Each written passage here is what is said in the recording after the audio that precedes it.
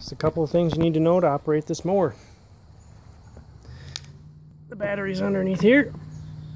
You can check the battery level by pressing the button. You can release the battery by pushing that lever. And just pulling it out. It's a little easier with two hands than one.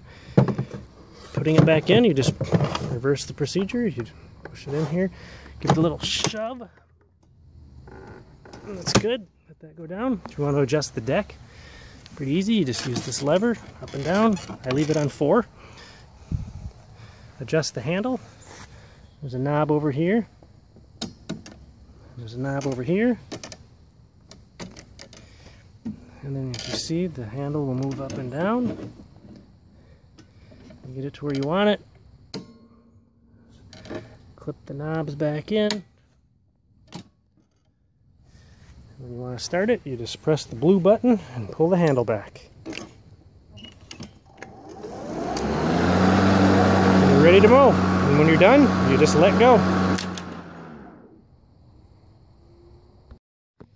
And the one last thing is if you want to uh, charge the battery when once it's dead, because it will die, you just take your battery, which this one's charged, but I'll put it on here. You just slide it on,